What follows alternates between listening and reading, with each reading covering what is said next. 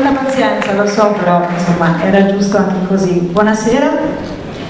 E un grazie grande quanto una casa, perché siete davvero tantissime persone, signore e signori, ma direi anzi soprattutto mi fa piacere dare un saluto particolare alle signore e capirete il perché quando andremo avanti nella nostra serata. Siete tutti benvenuti signore, signori, bambini, ce n'è anche qualcuno, è davvero un grande piacere per me essere qui, sono, sono contenta, sì, sono contenta perché eh, perché ci sono, sono contenta di esserci, sono contenta, come direbbero i giovani di oggi, perché ci sto dentro e allora ci sto dentro in questa vicenda, ci sto dentro in questa storia, siamo tutti dentro in questa casa, in una casa che vorremmo bella, serena, tranquilla, eh, così sicura, una casa sicura, ecco, dove, dove, regna la pace, dove regna l'armonia, dove possibilmente regna anche l'amore. Beh, non tutte le case sono così, no. Molte, molte sono diverse e ce lo raccontano i numeri, i numeri che non sempre ci piacciono, spesso sono aridi, sono impietosi, no? però talvolta sono le, la cosa migliore, al di là delle parole, per fotografare una situazione. Mm, c'è solo da dire questo, ogni due giorni una donna viene ammazzata in Italia, ogni due giorni, forse anche in questo momento. Ogni due giorni viene ammazzata per mano del suo uomo, che sia marito, ex, fidanzato, talvolta anche padre, talvolta anche fratello, amico, persona de delusa, insomma ci sono mille motivi ma non ce n'è nessuno per ammazzare nessuno, né una donna né nessuno. Eppure questo succede, i numeri sono davvero brutti, ne parleremo più avanti. Le cose da dire questa sera sono, sono tante e allora io ricorro alla mia preziosa e filata scaletta perché non voglio dimenticare nulla, perché insomma è anche giusto che l'impegno di chi eh, si è speso per questa serata o per iniziative eh, che eh, hanno questo tema, eccola qua, è andata giù, eh, sia riconosciuto. Perché siamo qui?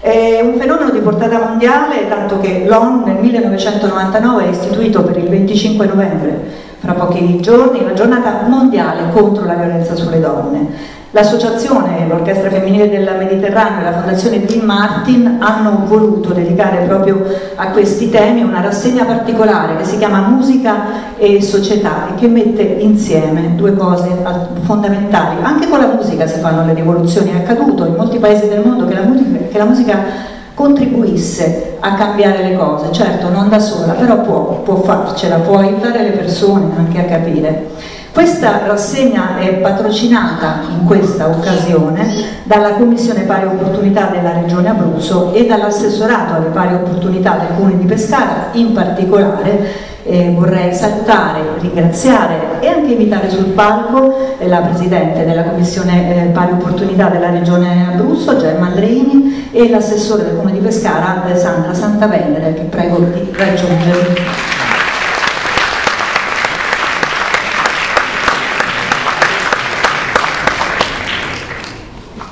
Buonasera.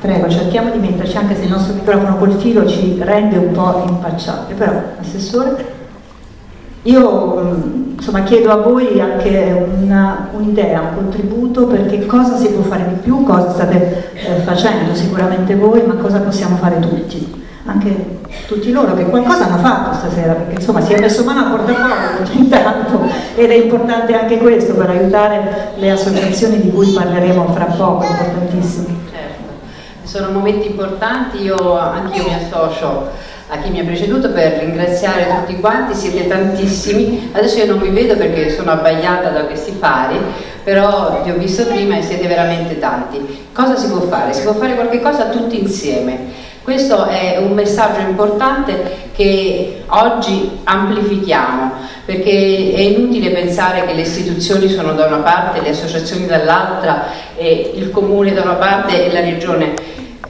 Bisogna fare qualcosa tutti insieme perché si possa arrivare a un risultato che speriamo sia quello che ci porti a combattere questo, questo flagello, perché come diceva giustamente lei, un giorno sì e un giorno no c'è un morto, che sia un uomo, che sia una donna, comunque questo, questo avviene. Avviene la cosa più grave che avviene mura, fra le mura domestiche. Questo non ce l'aspettiamo, ci aspettiamo che il nostro compagno, che il nostro marito, che il nostro fratello sia per noi un sostegno, un aiuto, una protezione, invece ci accorgiamo a volte che è un carnefice e, e ci sentiamo sole.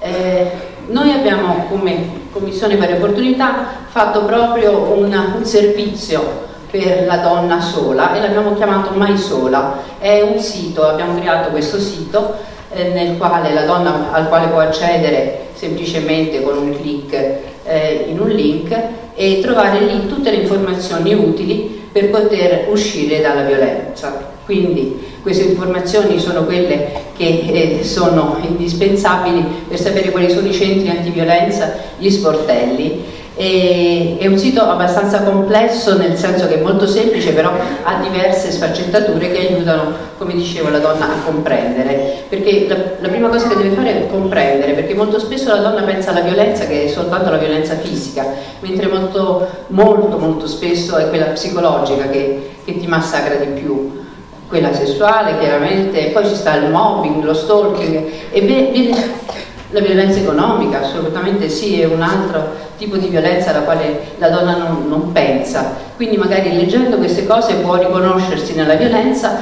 e leggendo oltre può capire a chi rivolgersi per poter essere non più sola. Eh, questa chiaramente web app è stata realizzata con tutte le associazioni, eh, con tutti i centri antiviolenza, Ananche chiaramente è il centro di Pescara di riferimento che molto ci ha sostenuto, aiutato, perché abbiamo fatto un lavoro sinergico, un lavoro tutti insieme, quello che dicevi prima, Co cosa si fa? Si lavora insieme, è l'unica speranza che ormai abbiamo. Quindi io fido sul fatto che il lavoro comune ci porterà prima o poi a, a non essere più qui per questo motivo, ma soltanto per ascoltare un, uno spettacolo stupendo come ci aspetta. Grazie. Grazie Assessore Santanello, eh, intanto qualche saluti del sindaco che sono, stati, sono arrivati anche attraverso Tiziana di Gianpietro, ma poi insomma anche il comune di Pescara ovviamente eh, è impegnato su questo fronte. Sì, io come assessore alle opportunità ho avuto veramente eh, questa bellissima esperienza di incontrare queste donne che sono tutte le giorni davvero portano poi su di loro quelle, quelle emozioni e quel peso che ovviamente la donna che denuncia la violenza ovviamente poi trasmette.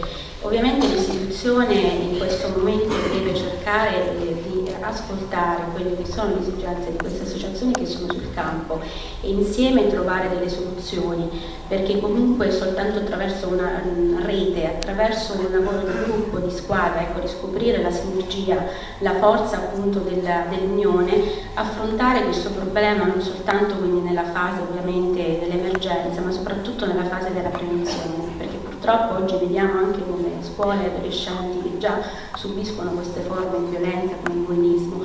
E quindi eh, la cultura, quindi cercare già dalla, dall'adolescenza ma ancora prima di mandare un messaggio, di veicolare il messaggio del rispetto dell'altro, ma dell'altro inteso in senso ampio, cioè diverso, quindi non è questione di uomo, donna, bambini, animali, noi dobbiamo sapere che tutto ciò che è diverso non è raggiunto, non è da apprezzare, da, apprezzare. quindi eh, partire da questo concetto e cercare insieme, ma davvero insieme, di costruire un futuro che possa essere di confronto e quindi infatti non vorrei più parlare di politiche di pari opportunità, ma di politiche condivisione, di conciliazione. Quindi come istituzione noi saremo accanto a queste associazioni per costruire insieme una nuova rete sociale che possa davvero pensare che in questo caso la musica sta vincolando davvero la pace, un principio importante che è poi quello della condivisione, ma forse magari un giorno riusciremo, come diceva Gemma, ad ascoltare in questi, in questi momenti questa musica soltanto per essere lieti. Però oggi noi davvero abbiamo dimostrato che si può fare qualcosa, quindi io voglio ringraziare innanzitutto tutti i presenti, ma poi Antonella De Angelis che davvero con questa rassegna ha toccato dei temi che veicolerà questo principio della pace. Quindi grazie Antonella e a tutta l'orchestra, grazie.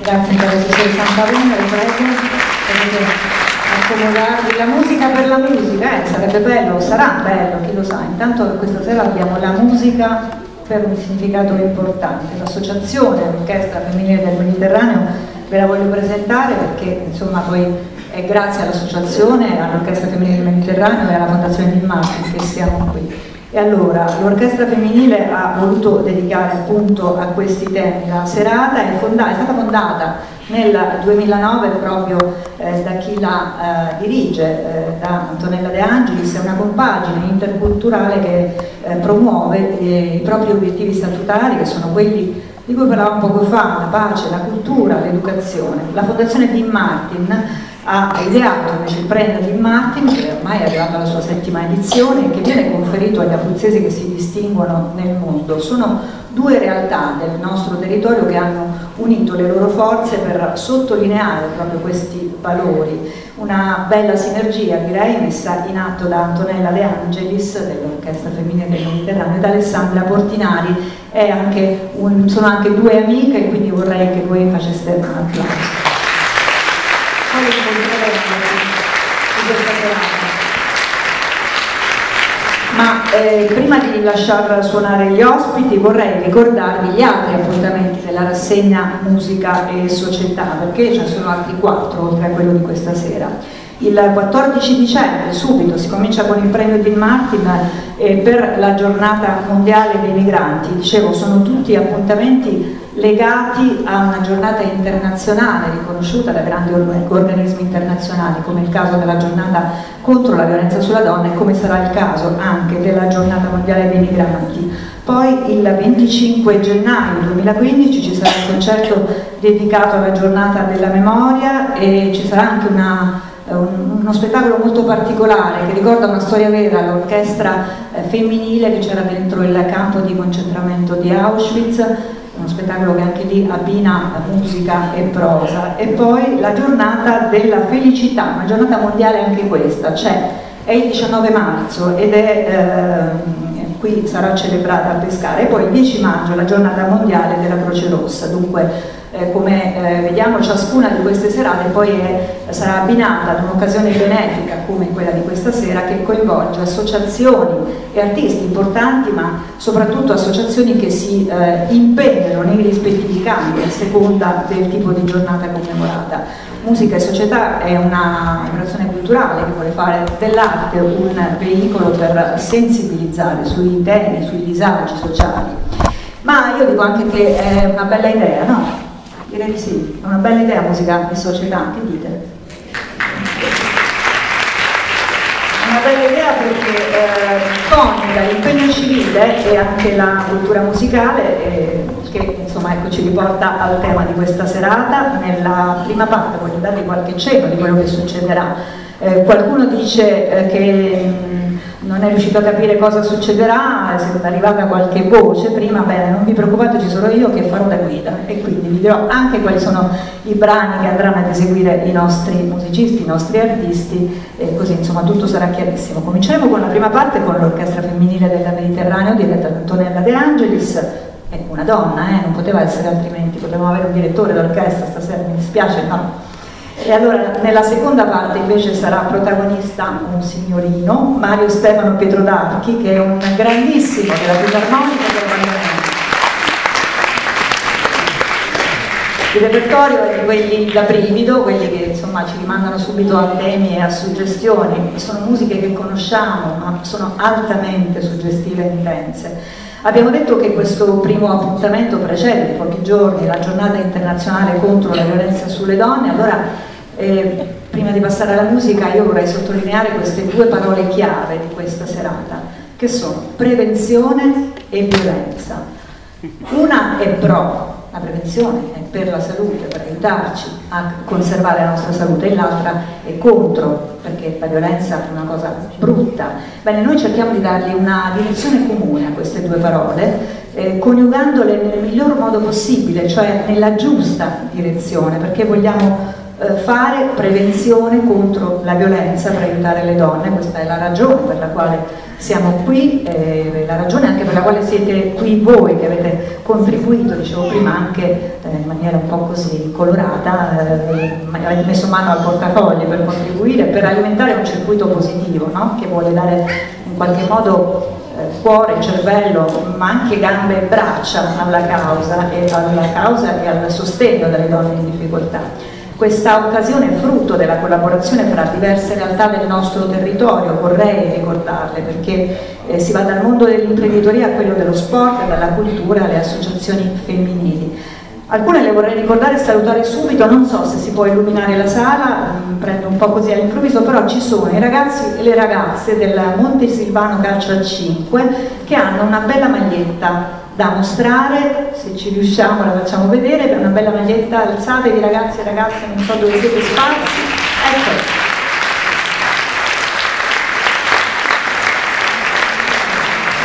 Alla violenza sulle donne, il messaggio del Montesipano Calcio 5 è molto chiaro, molto semplice, molto universale e molto molto importante, anche e soprattutto lì nei campi di gioco, nei campi eh, sportivi dove si vedono i giovani, dove si incontrano e dove si formano, allora formarsi bene da subito sta facendo una cosa bellissima, sappiatelo, tutto il nostro apporto. Vorrei salutare anche l'imprenditrice vinicola Stefania Bosco, anche lei è una amica, tra l'altro prima donna componente della giunta camerale di Pescara, la prima sì. Ci ha voluto qualche anno, ci siamo. E anche Stefania Bosco ha una sorpresa nel calice riservata alle donne. La raccolta fondi di questo evento sarà devoluta a due associazioni davvero preziose per il nostro territorio, per l'attività la, che svolgono sul territorio. E, eh, insomma ne parliamo subito perché parliamo di Ananche e l'ILT e io invito a raggiungermi proprio eh, il presidente di eh, Ananche, Rita Pellegrini e il presidente della LILT che è il dottor Marco Lombardo vi prego di raggiungermi perché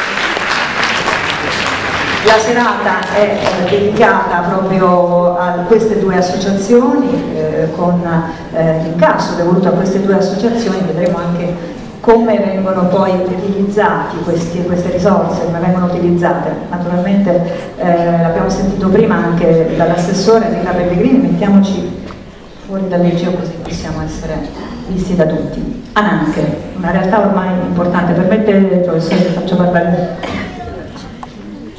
Innanzitutto grazie a tutti e a tutte, vi intravedo, è un'emozione e quindi il grazie è doveroso per questa serata, per tutte le amiche e gli amici che abbiamo incontrato lungo l'organizzazione. Diciamo le iniziative, così come i progetti, sono occasioni di incontro e, di relazioni, costruzione di relazioni, è quello che facciamo al centro antiviolenza, mettere al centro la relazione e ehm, risignificare, possiamo dire, l'esistenza delle donne che scelgono di uscire da percorsi, da situazioni di violenza, perché questo vogliamo sempre sottolineare, c'è la scelta, c'è la scelta dell'uomo di poter smettere di essere un maltrattante c'è la scelta della donna di uscire da questa condizione e quindi di non riconoscersi più come vittima. Il centro non fa altro che accompagnare questo percorso, però è un pezzetto, noi diciamo sempre, si fa un pezzo di strada insieme, ma si acquisisce la consapevolezza per tornare in un mondo che probabilmente non è ancora pronto ad accogliere la libertà femminile e in questo abbiamo responsabilità tutti e tutte siamo tutti chiamati a, ad impegnarci in relazioni di differenza, noi diciamo, e ci crediamo fortemente. Quindi mh, abbiamo mh, così la, il sogno e le, la pratica di mettere in campo quello che c'è scritto sui eh, volantini che vedete, cioè la giornata per l'eliminazione della violenza, ci si ferma al centro, si legge il fenomeno, si ricostruiscono le storie, si acquisiscono strumenti per agire poi libertà femminile. Per fare questo dobbiamo scardinare i ruoli che ci costringono quindi in stereotipi sia gli uomini che le donne. Um, diciamo cederò alla tentazione perché so che ci sono tanti uomini così eh, in, in, platea. Eh, le donne hanno cominciato ad interrogare il loro stato di necessità a partire dagli anni 70 in poi, perché dare poi forza al desiderio di libertà. Io mi auguro che in questa fase in cui c'è l'urgenza, perché la punta dell'iceberg è la violenza contro le donne, ma come dicevamo prima, per avere poi la possibilità di pari opportunità, Quindi mi auguro che gli uomini si mettano in ascolto, cioè di fronte appunto a questo modello culturale si possano sentire messi in gioco. Ci sono associazioni di uomini che stanno facendo quello che le donne hanno fatto. Probabilmente ci sono momenti separati, ma per rincontrarsi e da lì possono nascere delle pratiche, delle prassi, delle politiche nuove. Se non cambiamo la lettura del fenomeno, non modifichiamo il nostro modo di nominarlo, di pensare in maniera diversa per agire in maniera diversa. Vi ringrazio tutti, ho in mano il sacchetto perché domani ci ritroviamo in piazza e lo slogan è proprio quello, per troppe donne la violenza è ancora pane quotidiano. Questo è la, quello che accade, però è anche vero che siamo impegnate ogni giorno a modificare questa, questa realtà e quindi a prevenirlo, a contrastarlo in uh, tutte le sue forme. Lungo la strada abbiamo incontrato altri testimoni no? di un cambiamento di cultura rispetto altri. Grazie, grazie Capitolini. Tra l'altro io voglio ricordare che eh, insomma tra qualche giorno, proprio il 25, ci sarà anche modo di conoscere gli ultimi dati, perché quelli del nostro eh, territorio, ANAC è sempre molto pronta su questo fronte, perché come dicevo prima, talvolta i numeri ahimè servono e come, e quindi fotografano la realtà, sono dati in elaborazione che verranno eh, resi noti proprio il 25. Vorrei adesso parlare con il professor Lombardo, eh, abbiamo detto prima violenza contro, naturalmente e prevenzione pro, come li mettiamo insieme queste parole?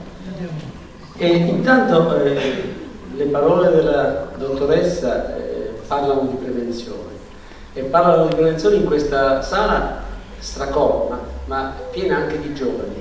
Noi abbiamo i giovanissimi volontari di IT, che sono veramente eh, il nostro futuro quando eh, la professoressa De Angelis è venuta a, a proporci di essere testimonia di questa manifestazione siamo stati felicissimi, era fine ottobre. E loro non so se hanno notato la, il comune con la torre civica illuminata di rosa e, e la, la, provincia illuminata di rosa. Beh, quella è un po' l'opera nostra di questo mese di ottobre dove la LILT e esegue visite, sì, esegue visite gratuite alla popolazione per la prevenzione dei tumori del seno, della mammella.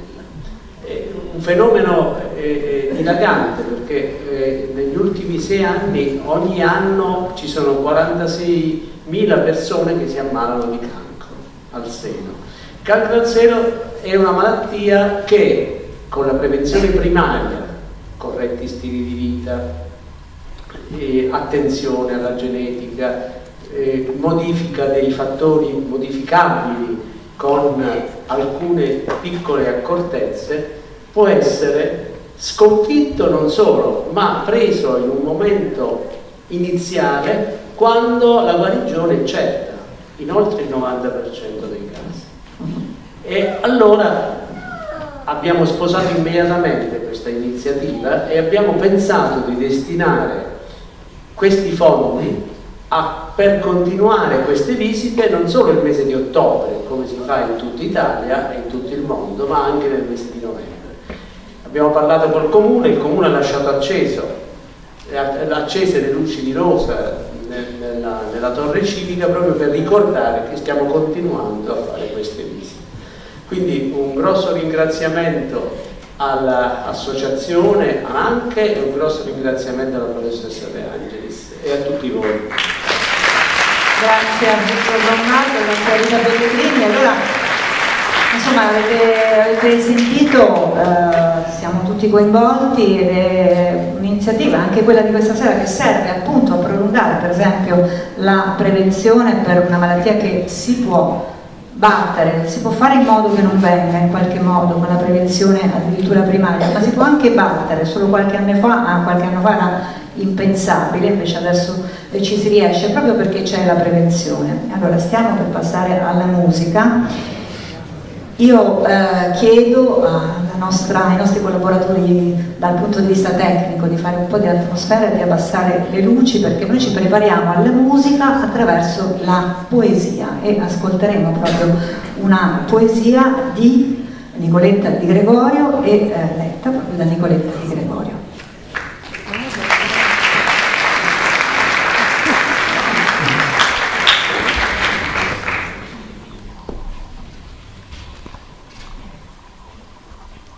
Contro il femminicidio.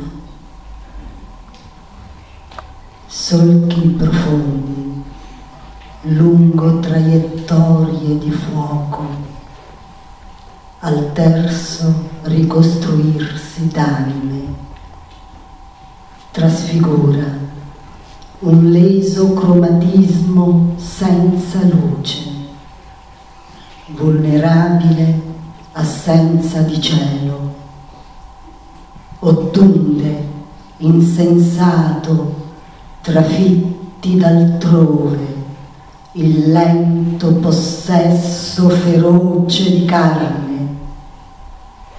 Se fosse la notte più dura della morte, avrebbero gli occhi dalle iridi opache un lampo d'amore, un guizzo nel limpido sfogliarsi d'aurore. Grazie.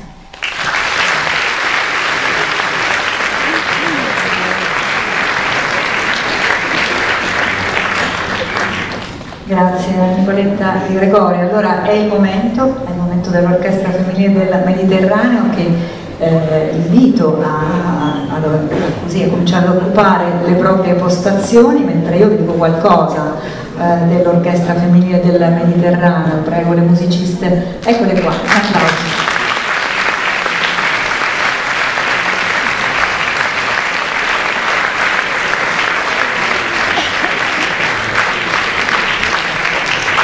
L'Orchestra Femminile del Mediterraneo nasce come spazio privilegiato in cui artisti dei paesi mediterranei e non solo, per la verità, operano in condivisione per la pace, per la cultura e per l'educazione. L'Orchestra Femminile del Mediterraneo spesso è coinvolta in progetti musicali a scopo umanitario, eh, le artiste hanno un ottimo livello e hanno ottenuto critiche positive sia per la bellezza del suono che per la originalità del loro repertorio. Eh, riconoscimenti importantissimi, per esempio anche l'ambasciatrice di Giordania, la principessa Alascemi, ha conferito alla compagine e al suo direttore un riconoscimento prestigioso. L'orchestra, come vi avevo anticipato prima, come molti sanno, è stata fondata da Antonella De Angelis, che è ritenuta uno dei più interessanti direttori d'orchestra della sua generazione. La pensa così il maestro Donato Renzetti, eh, con il quale Antonella De Angelis ha studiato direzione d'orchestra orchestra, conseguendo il diploma con il massimo dei voti presso l'Accademia Musicale Pescarese. Eh, la De Angelis ovviamente si è distinta in diversi master prestigiosi, ma prima di continuare a leggere eh, una piccola parte delle sue gesta, perché poi insomma, l'ho detto prima, mi piacerebbe che fosse la musica a parlare, io vorrei chiamare con un applauso proprio Antonella De Angelis.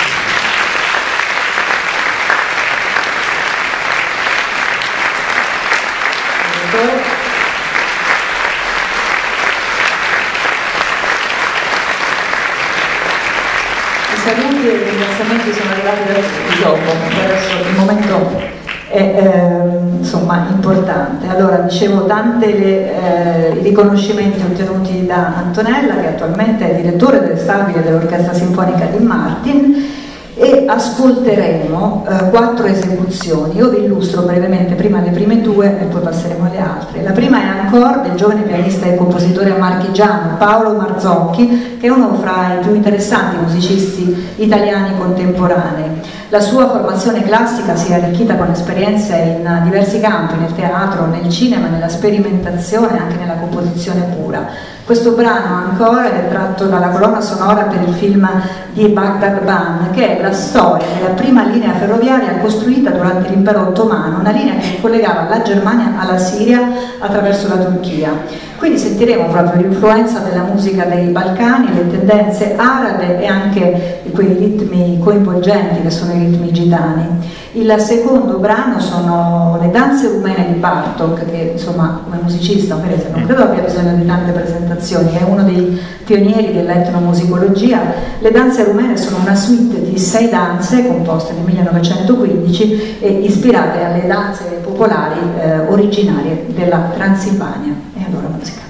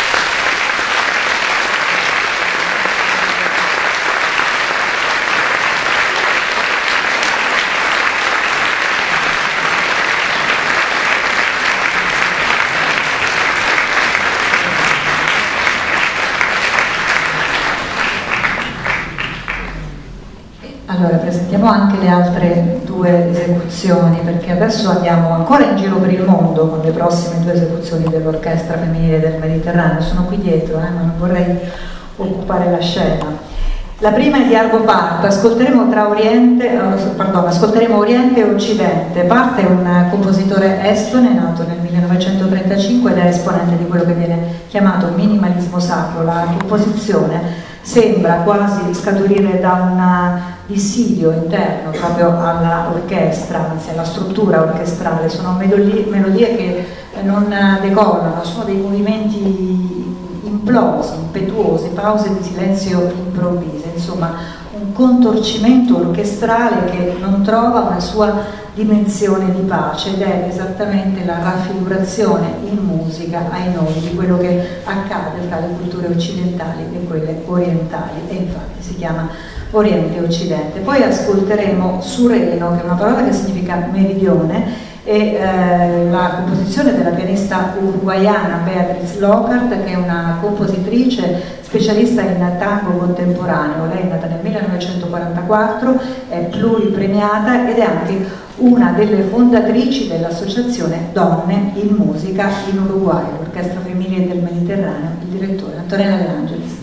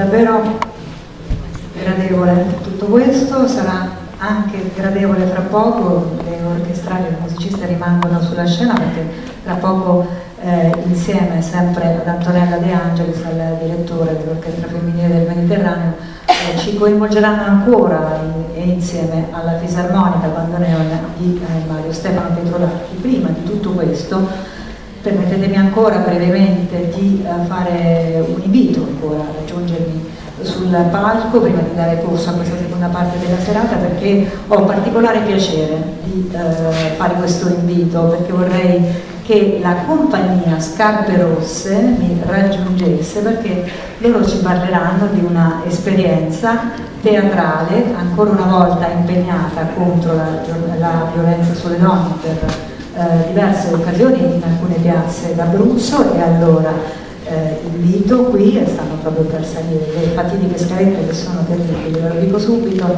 Franca Minucci,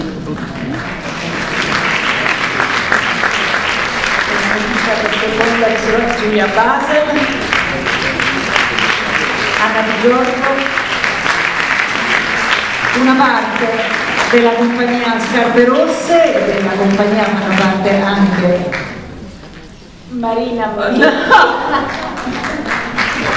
Vabbè, eh, in realtà volevo dire che fanno parte, sì, anche ho avuto il piacere attrice, la regista e noi giornaliste con la mia collega Anna Di Giorgio abbiamo contribuito a questo spettacolo teatrale insieme a Daniela Seneca, giornalista anche lei della RAI che dovrebbe esserci, non so se c'è o non c'è, c'è?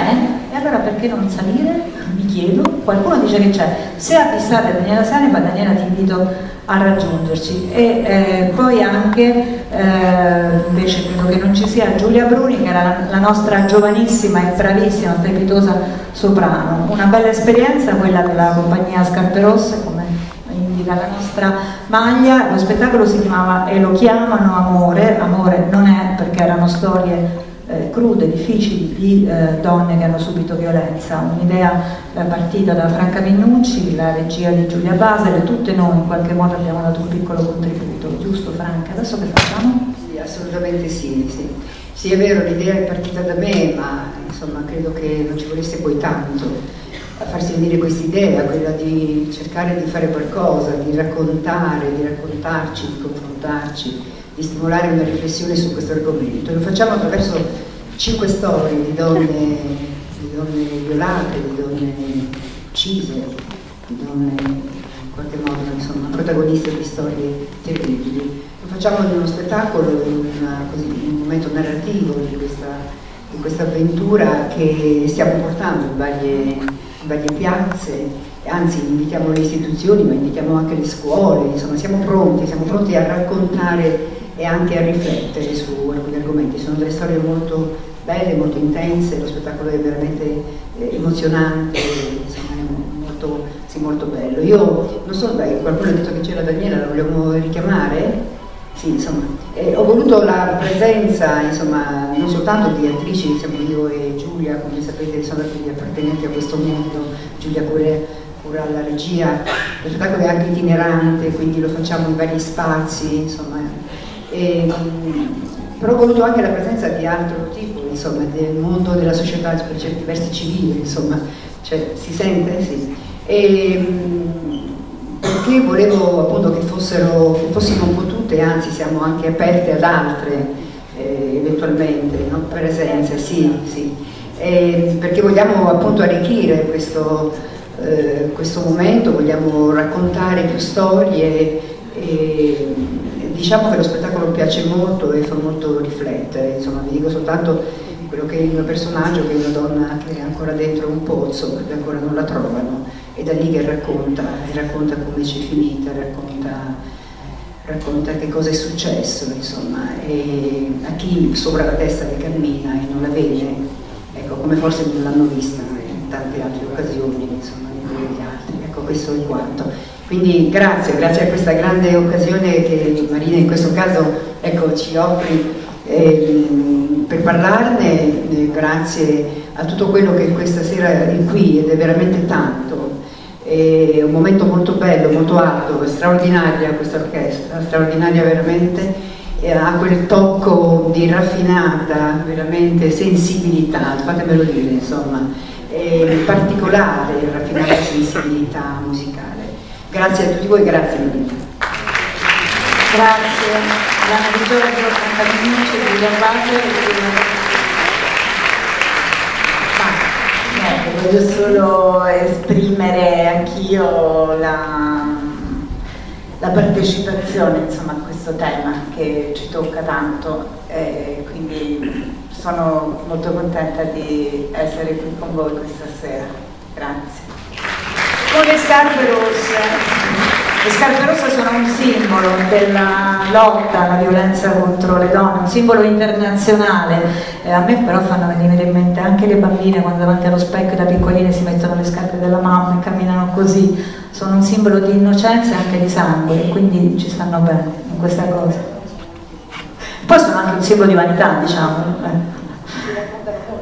Grazie, noi ci rivedremo al più presto. Adesso torniamo alla musica e quindi io eh, torno un po' nell'ombra perché è giusto così. Intanto insieme eh, di nuovo alla strepitosa orchestra femminile del Mediterraneo, davvero emozionanti e bellissime queste donne, con eh, i loro archi e con i loro violini. E poi eh, ancora il, sarà diretta da Antonella De Angelis, mi hanno tolto il leggio ma ci proverò. Dunque la seconda parte vedrà salire sul palco, come abbiamo sentito, un musicista d'eccezione, Mario Stefano Pietro D'Archi e e eh, insieme all'orchestra femminile del Mediterraneo appunto Mario Stefano Pietro D'Archi che è una giovane musicista, lui è di Atessa quindi abruzzese ma è un talento che sta davvero conquistando il panorama internazionale, mondiale della musica. Ha iniziato a nove anni, ha iniziato lo studio della fisarmonica e poi successivamente del bandoneon studiando con maestri importanti. Nel 2007 si è diplomato con lode al Conservatorio Musicale Santa Cecilia in Roma, un'istituzione assolutamente prestigiosa, e poi si è perfezionato in Italia e all'estero.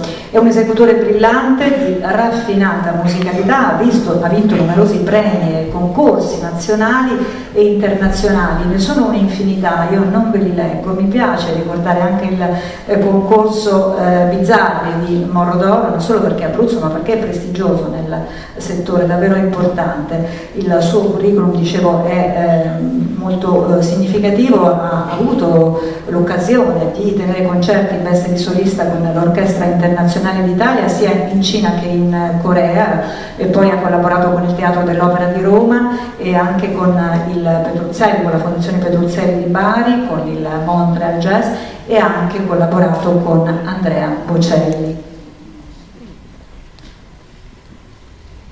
allora, eh, insieme ascolteremo eh, alcune esecuzioni, io adesso ve le dico un po'